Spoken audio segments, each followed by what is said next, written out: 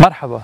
اليوم رح نرحب بالجيل الجديد من نيسان اكسرا 2021 اللي تغير من الشكل الخارجي المحرك والمواصفات. من بعد 2015 صارت النيسان اكسرا مشهورة بأدائها بال off-road ولكن الجيل الجديد اليوم عم يروح أكثر توجه تبعه للمدينة على طرقات المدينة وإذا عزت شوية off-road أكيد هالسيارة عندها الإمكانيات. هيدي النسخة عم تتصنع بتايلاند. هونيك اسمها بس Terra أما بالشرق الأوسط عم يكون اسمها ال Xterra مثل ما تعودنا عليها قبل. ال positioning تبعها عند نيسان هي بتجي أصغر من نيسان Pathfinder وأكبر من ال X-Trail. ال competitor تبعها مثل ما بنعرف في التويوتا Fortuner في الميتسوبيشي Montero هيدا الطراز عم بيتوفر بسبع ألوان. هيدا اللون واحد منهم لون جديد وكثير حلو. هلا اول ما تطلع على الواجهة الأمامية بنشوف إنه هيدي ال signature تبع نيسان موجودة اللي هو ال V-motion grille مطعم بالكروم لأنه هيدي النسخة ال full option اللي معنا. علامة نيسان بالكبير عندنا الرادار ليحذرنا لما نقرب على السيارات sensors هالاضويه اللي صاروا عم بيشبهوا شوي ال Patrol وأكيد ال design تبعهم حلو مع full LED عندنا الأضوية كمان ال fog lights موجودين من تحت اذا بنلاحظ إنه عالية نسبيا وهيدا أكيد رح يساعدها من ناحية ال off-road. العلو تبعها 25 سنتيمتر وال approach angle من قدام 32 degree عودنا على الجيل القديم من الاكسيرا كان خطوطه شوي عريضة تيعطيها انطباع رياضي. عم نشوف هودي الخطوط من على الغطاء المحرك كيف عامل هيدا الخط. و plus بنشوف ال fenders كيف هن منفخين. عم نشوف الرنجات بمقاس 18 انش وعلو السيارة عم بيساعدها إذا بعدين بدنا نعمل upgrade لل tires نكبرهم تيساعدونا أكثر بال off road حلوة هيدي الفتحة اللي على الجنب بس هي للشكل أكثر منا منا فتحة للمحرك. المرايات مطعمين بالكروم وعم نشوف الكاميرا من تحت. هودي الأربع كاميرات موجودين على كل أطراف السيارة تيعطونا ال 360 view ال side step كثير مهمة وكثير منيحة لأنه هيدي لما بتفوت بال بال بال off road ولا الوحل ولا هيدا ما بيطلع على السيارة كثير وحل فأنت وعم بتفوت ما بتجوي حالك. بنكمل لهون ما فيها فتحة سقف. وهلا بنقول ليه ما فيها فتحة سقف؟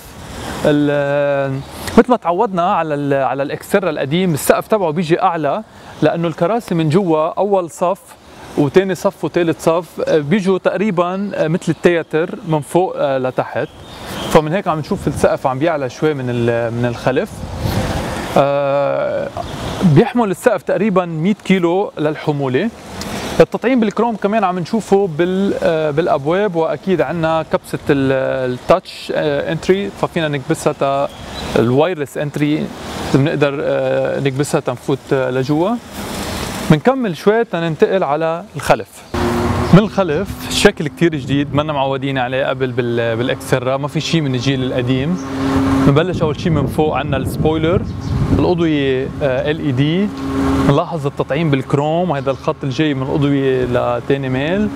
كلمة اكستيرا هون في كاميرا هيدي الكاميرا هي مش كاميرا reverse هيدي كاميرا الموجودة على المراية. كاميرا reverse هي موجودة هون.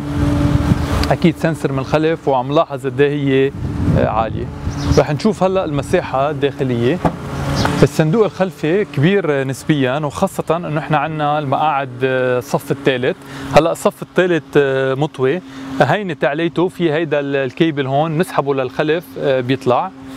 تحت هيدي كمان عندنا محل لل للتخزين بس كثير صغير يعني ما بي ما بيساع كثير إلا شيء خفيف. في عندنا على الجنب USB port ومحل تنشبك ال HDMI إذا معنا تابلت وبدنا نحضر على ال screen الموجودة بالوسط فينا نشبكها.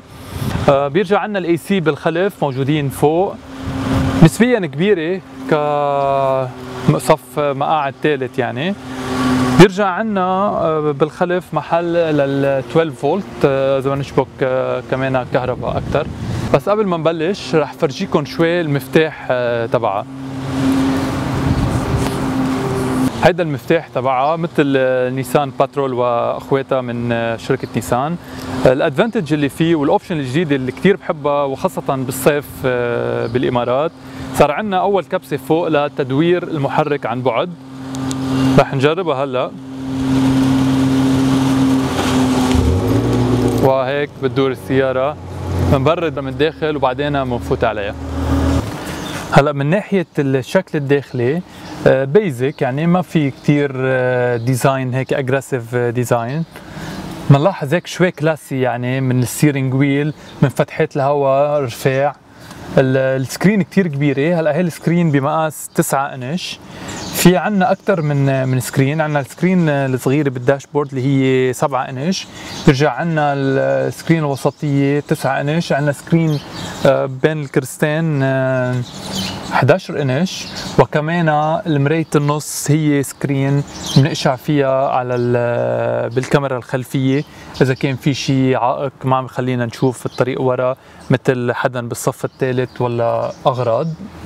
بيرجع بكمل عنا ال design من بعد ال screen. تحتها في عنا الكبسات لل AC وتحت الكبسات في عنا USB port وتحكم بال gear من two wheel drive four wheel وتحتها في محل لنشرج الموبايل. المسكة عادية مسكة gear آه، عادية. الحلو إنه منه CVT ال gear تبعه اوتوماتيك من سبع غيارات. هلا بنحكي عنه كمان. نرجع بنكمل آه، لتحت. في عنا كبسة ال diff lock آه، كبستين بالنص نسكر المقاعد الصف الثاني. وآخر كبسة على اليمين اللي هي عند المنحدرات بتتحكم بالسرعة تلقائيا.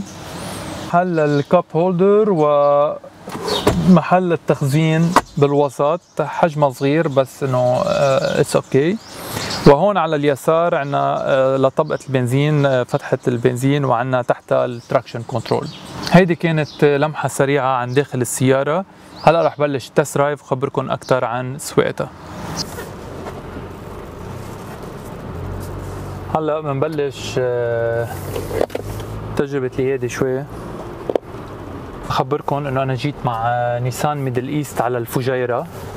هيك تنختبر السيارة وبنفس الوقت تنعمل شوية activity امبارح عملنا kayak واليوم هلأ رايحين على بارك وعم نستمتع بسواقة الإكستيرا.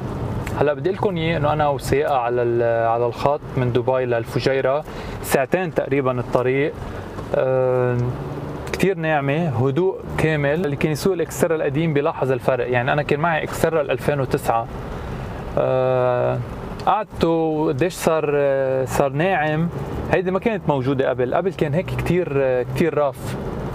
so هلأ عم نشوف شوي كأنه أكثر luxury كأنه أكثر صار آه، خرج إنه المدينة وال daily drive وللسواقه على الخط صارت أريح بكثير المشاكل الكبيرة اللي كانت بتواجهها ال Xterra القديمة هي آه، استهلاك الوقود. محرك ال V6 ال 4.0 صح إنه كان في torque كثير عالي بس استهلاك الوقود يعني كثير فأنا كنت عبيله يعني كل يومين عبيله 100 درهم لهالدرجة كان يصرف معي. هلأ المحرك الجديد هو 4 سلندر بطل فيه الست سلندر 2.5 لتر عم بيولد 165 حصان. و264 تقريبا نيوتن متر من عزم الدوران. هلا بعرف في كثير ناس ما حبوا هذا وعم يعملوا لي comment إنه ال V6 أحسن ولا ال V6 أحسن. هو بالنهاية depend على آه، طريقة ال driving تبعكم وأنتم شو what do expect من هيدي السيارة. هلا اليوم الاكسرا صح إنه هي أربع سلندر بس سيركي لكم ال off-road capability يعني شو؟ العلو تبعها عالية. ال gear تبعها منه CVT gear automatic عادي which is good. فيها ال anti-lock لل differential so عندكم ال four wheel وال two wheel so تقريبا سيارة جاهزة تطلع off uh, road ولا إذا في هو حيلا عائق أنتم بالطريق. هي قادرة تتخطى هيدا العائق. هلأ إذا بدكم سيارة advanced بال off-road أكيد بدك تطلع ساعتها على الباترول هو ملك الصحراء يعني. هلا ال advantage كمان تبع هذا المحرك إنه سعر السيارة صار كثير competitive يعني عم بتبلش سعرها من 99 ألف درهم which is كثير competitive بهيدي ال category بالذات. إذا عم بتسوقها على الخط أنا ما لاحظت يعني فيها أي مشكل بال power يعني. ال power منا منا عاطلة. أه هلا بتحس في أيام لما يكون عندك طلعة وماشي على ال cruise control بتحس هيك بتسقط gear كرمال هي to push تضلها بنفس السرعة. هيدا طبيعي كل محركات الاربعه سلندر وخاصة إنه هيدا المحرك ما عليه turbocharge هلا أنا I'm sure إنه نيسان كان فيهم يحطوا turbocharge ويقولوا ال horsepower يعني هيدي منا منا مشكلة. بس كمان بنفس الوقت بدك سيارة تكون reliable إذا أنت عم تطلع فيها off-road يعني هيدا الاربعه سلندر صح انه إذا بتطلع فيه off-road وعم تضلك على أول gear ثاني gear هيدا ما بيحمى يعني. الشغلة اللي حبيتها بال interior هي كيف ال screen مندمجة بقلب التابلو. و touch screen وكثير هينة إنه تشبك فيها ال Apple CarPlay دغري على ال Wi-Fi وال Bluetooth شبكت صار عندي كل ال app موجودين فيها. حتى فيها navigation كثير كثير advanced حبيتها حبيتها فيها. كمان غير التسعة إنش الموجودة هون عندنا السبعة inch ال screen اللي عم بتفرجيني سرعة السيارة و إذا بدي أتحكم بحي الله شيء من ال safety options سمعكم شوية التسارع تبعها يعني حتى هلأ آه، أول gear وأدعس.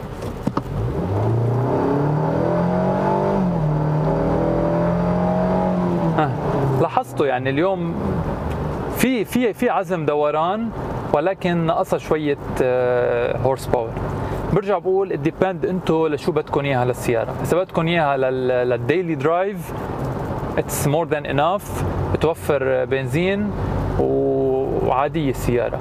هلا إذا بدكم إياها لل heavily off-roader أكيد الستي سلندر ولا إذا بدك تعمل towing واشياء هيك أكيد الستي سلندر آه، غير شيء. وبما إنه هيدي الاكسرا كمان عم يجي فيها ال Nissan Intelligent Mobility يعني فيها كثير من ال safety مثل ال forward collision warning departure lane warning rear cross traffic alert airbags يعني فيها فيها كل شيء. كمان لاحظت شغلة ال sound system من Bose كتير كتير كتير حلوة. يعني اللي رايح مشوار في يسمع موسيقى كتير حلوة. صح إنه الاكسرا عم ترتكز على الشاسي تبع النافارا ولكن صار كثير عليها تعديلات تتكون ال ride أحسن وأكثر سموث يعني. أنا سقتها للنافارا بسبين و كثير هيدي أريح. هيدي كانت لمحة سريعة عن الاكسرا إذا بدكم تسألوني رأيك فيها أنا بقول لكم أكيد كنت بحب يصير في شوية تعديل على محرك الفي 6 يكون يمكن يكون 3 لتر محل 4 لتر ويكون بيوفر بنزين أكثر ويضل في يعني نسخة الستة سلندر ولكن هيدا ال option كمان مش مش غلط. يعني الأربع سلندر آه، سواقته منا بشعه بس أنا بالنسبة لي أكيد بحب يكون في أكثر horsepower من 165 من ناحية السعر كثير competitive بهيدي ال category يعني عم نحكي سيارة تقريبا أقل من 100 ألف درهم 99 ألف درهم. وعم نحكي نيسان يعني بتجيبها وبتنسى. أنا ال 2009 كان موديله جبته بسنة 2009 سيارتي القديمة وسقتها 265 ألف كيلو وما دفعت شيء عليها إلا بس آه، بنزين وغيار زيت يعني ذاتس ات ولا مرة صار فيها أي مشكلة. so so, هودي السيارات معروفين قديش هن reliable so يعني مش ضروري أنا أحكي عن هذا الموضوع. بس ال capability بال off-road أنا رح أرجع أخذها مرة ثانية لأنه مثل ما قلنا إنه هيدي كانت it's like an event يعني. رح أرجع أخذها ب test drive واحكي أحكي أكثر details عنها وأطلع فيها صحراء وشوف كيف كيف عم تكون بال off-road إذا عندكم أي سؤال آه، فيكم تسألوني إياه وما تنسوا تعملوا لنا like و subscribe. Thank you